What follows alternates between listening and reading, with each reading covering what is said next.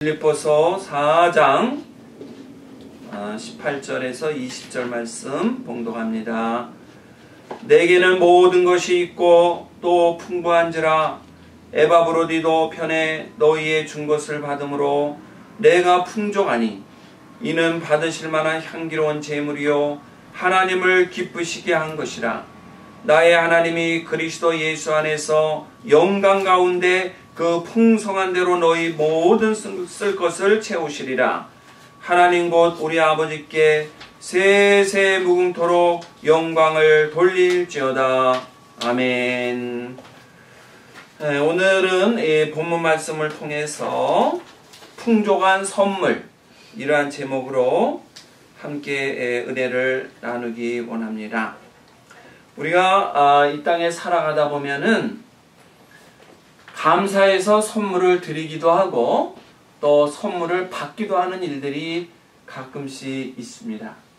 자녀들은 부모님께 감사해서 어버이날 효다는 마음으로 선물을 드리기도 하고 또 스승의 날이 되면은 제자들이 선생님에게 선물을 준비해서 드리기도 합니다. 근데 이러한 선물을 주고받는 것이 우리에게는 큰 기쁨이 되고 감사의 조건이 된다는 것을 말씀을 하고 있습니다. 특별히 오늘 사도 바울은 옥중에서 어려움을 겪고 있을 때 빌립보 교회의 성도들이 정성껏 선물들을 모아서 보내준 거에 대해서 감사하다는 말을 기록하고 있습니다. 그래서 17절에 보면은 내가 선물을 구함이 아니요 오직 너희에게 유익하도록 과실이 번성하기를 구함이라 이런 말씀이 17절에 있습니다. 사도 바울은 선물을 원한 적이 없었습니다. 그러나 때때로 빌립보 교회 성도들이 에바브로디도를 통해서 귀한 선물들을 모아가지고 전달해 줬던 것 이런 것들이 나에게도 도움이 됐지만은 이 선물을 주고 있는 너희에게 큰 유익함이 될 것이라고 축복하는 말씀이 여기 기록되어 있습니다. 그렇습니다. 우리가 선물을 한다는 것은 선물 받는 사람에게 유익이 되지만 또한 선물을 하고 있는 사람에게도 큰 유익이 된다는 사실을 우리는 기억을 해야 됩니다. 그렇기 때문에 우리는 어떤 것을 드릴 때 기쁨으로 드려야 돼요. 그럴 때 내가 드리는 자의 복이 더 크다는 것을 오늘 본문은 말씀을 하고 있습니다. 하나님께 우리가 귀한 것을 드린다. 하나님이 기뻐하시죠.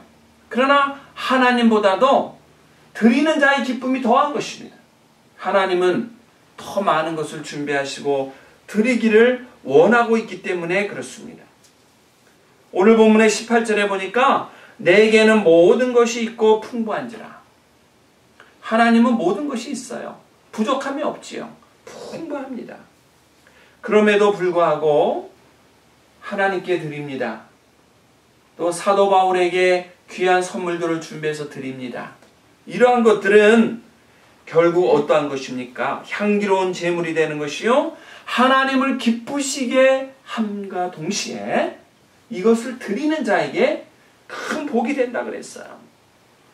그래서 17절의 하반절에 보면 오직 너희에게 유익하도록 과실이 번성하기를 구함이라.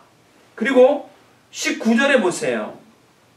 나의 하나님이 그리스도 예수 안에서 영광 가운데 그 풍성한 대로 너희 모든 쓸 것을 채우시리라 이렇게 말씀했어요. 우리는 적은 것을 드리지만 하나님께서는 필요한 모든 것을 채워 주신다고 말씀을 하고 있습니다.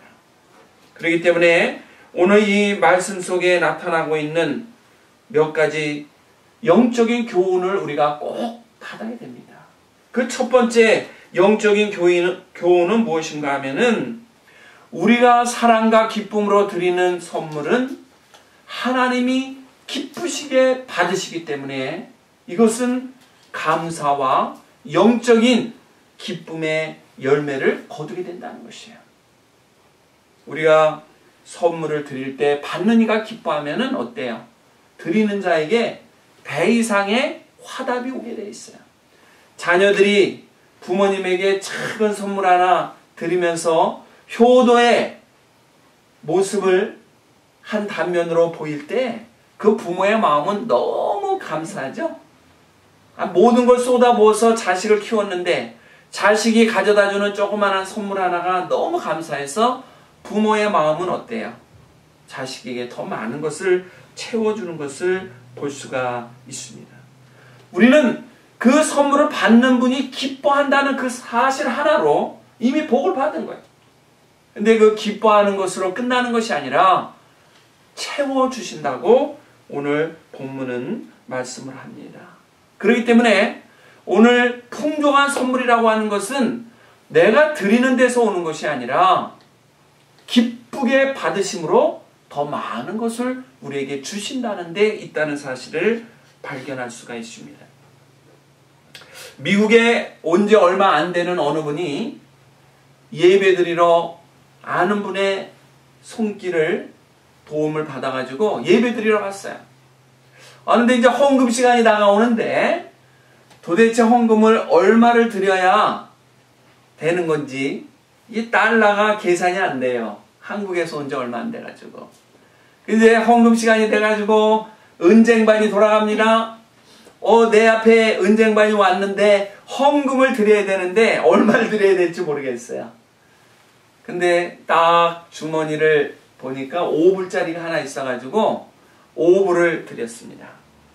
그리고는 마음속으로 아 이거 너무 큰 걸 드린 게 아닌가 이러한 부담이 있었어요. 그렇지만 일단 준비된 헌금을 드렸어요. 근데 이제 은쟁반이 그 옆으로 갑니다. 그래가지고 다른 분에게 순서가 됐는데 그분도 5불을 드리는 거예요. 그러는 순간에 마음에 야 내가 5불 드린 게 참 잘했구나. 저분도 5불 드리니까 아마 미국에서는 기본이 5불을 드리나 봐. 이렇게 마음에 안도를 했어요. 근데 이게 어떻게 된 일이에요? 그분이 5불을 드리고는 4불을 거실러 가는 거예요. 그러니까 결국은 1불밖에 안 한 거 아니에요. 아, 그러니까 먼저 한 이 사람이 마음이 아니 1불만 하면 되는 걸 내가 5불을 했네. 아 이러면서 아, 나 손해 봤어. 이런 마음을 가졌다 그러죠. 이건 하나의 우리가 아, 우스갯소리를 하는 얘기지만은 우리가 하나님께 드릴 때 내 마음과 시간을 드린다고 하는 것은 무엇인가? 어, 무엇을 드려도 아깝지 않고 무엇을 드려도 내 마음에 기쁨이 있어야 된다는 것이죠. 근데 종종 우리의 마음에는 어떠한 마음이 있죠?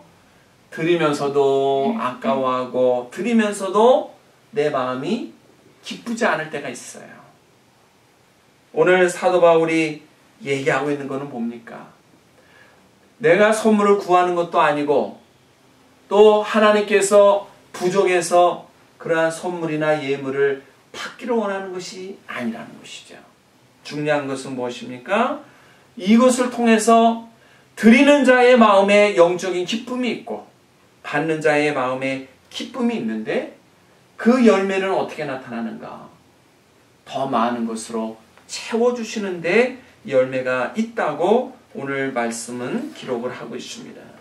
그렇기 때문에 오늘 말씀 중에 특별히 18절을 다시 한번 보시면 내게는 모든 것이 있고 또 풍부한지라 에바브로디도 편에 너희의 준 것을 받음으로 내가 풍족하니 이는 받으실 만한 향기로운 제물이요 하나님을 기쁘시게 한 것이라 이렇게 말했어요. 하나님을 기쁘시게 하면은 어떠한 결과가 와요? 천지 만물을 주관하시고 천지 만물의 주인이 되시는 분이 기뻐하신다. 그때 뭐가 나타날까요? 감당할 수 없는 은혜, 감당할 수 없는 축복이 임하는 줄로 믿습니다. 바로 하나님께서 이 모든 것을 채우신다고 약속을 하고 계십니다. 그래서 우리는 하나님의 놀라우신 은혜를 항상 생각할 때마다 감사해야 돼요. 그래서 오늘 본문이 주는 두 번째 교훈은 무엇인가? 항상 우리는 하나님께 감사하는 마음을 잊지 말자는 것이. 하나님을 생각할 때마다 감사해야 돼요. 마치 자녀가 부모님을 생각할 때마다 감사합니다. 부모님은 자녀를 생각할 때마다 감사합니다. 생각할 때마다 감사하는 것. 이게 얼마나 큰 축복인지 몰라요.